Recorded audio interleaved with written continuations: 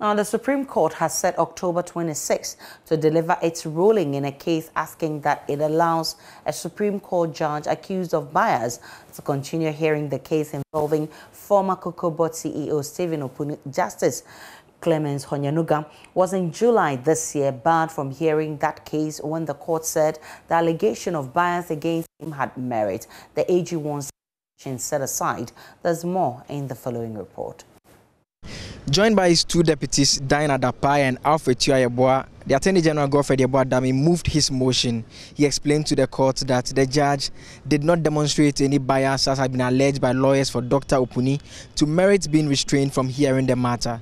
He says the judge simply applied time-tested decisions of the Supreme Court. And if the Supreme Court was minded to set that aside or depart from its earlier decisions, the judge should not be the one bearing the brunt of that particular move. And so the matter that was before the Supreme Court was of the nature that there should be an error that was obvious. And so he said that no such error had been committed by the judge to warrant the intervention of the Supreme Court. Uh, the lawyers for Dr. Puni disagreed with this submission. They made the point that as far as they are concerned, Justice Clemence Honyenuga had made up his mind through comments he made while ruling on the submission of no case that he was going to sentence Dr. Opuni and was simply going through the ritual of trial. At the AG at that point in time had some concerns about that comment, but uh, Mr. Uh, Kodjoe, who represents Dr. Opuni, made the point that those are matters that are already contained in the documents which they filed in court. After hearing both sides, the Supreme Court opted to adjourn the matter to October 26 to deliver its ruling on it.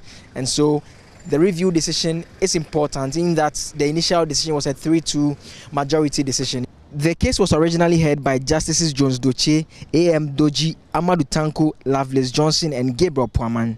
Justice Gabriel Pwamang, who wrote the lead judgment, concluded that the test is an objective test based on the principle that justice must be done, as he said that a case of bias had been made. He was backed by his colleagues, Justices A.M. Dordzie and Tanko Amadu. Justices Jones Dotse and Lovelace Johnson disagreed. The review application is being heard by Justices Gertrude Torkornoo and Professor Ashie Kotey, who have joined the original panel. Reporting for Joy News from the Supreme Court, my name is Joseph Ackah-Blay.